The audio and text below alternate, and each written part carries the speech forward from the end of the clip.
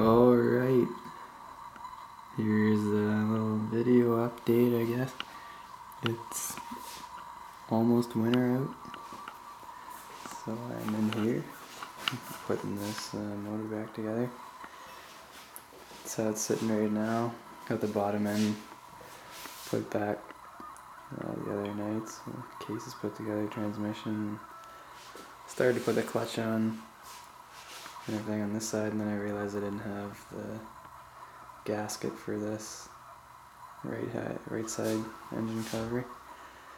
So waiting on that. So right now I'm just going to probably just throw the top end on it. So there's the cylinder there and new uh, Athena piston for the big bore, some gaskets and everything. So yeah. Alright, here's the new uh, piston for it. 144 big bore, the Athena piston, so it's basically an unboxing video right here. New wrist pin bearing. Yeah.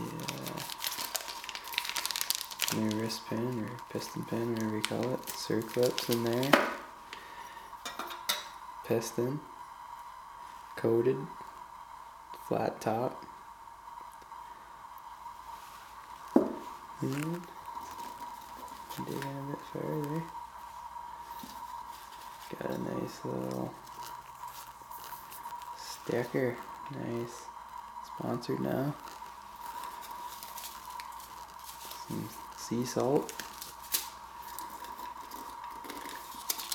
Instructions.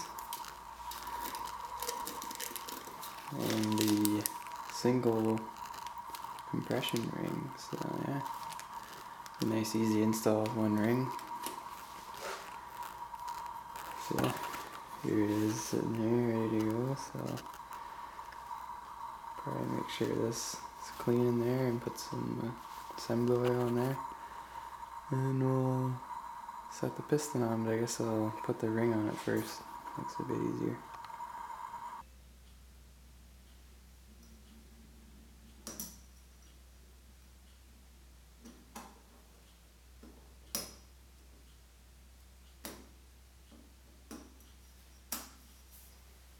Alright, got the rings on her, piston oh, onto the connector rod there, so I guess all I gotta do now is know, give this a wipe, put the gasket on there, throw some oil in the cylinder, already honed it. So that part's done. Can't see it I guess. So I just gonna throw that on there and torque her down. Alrighty, there we go, got the piston on, cylinder, head, everything's torqued down. Just plug the intake and exhaust port for now. So yeah, now I'm just waiting on these gaskets and I can get the clutch side and the stator side put back together. That's basically it.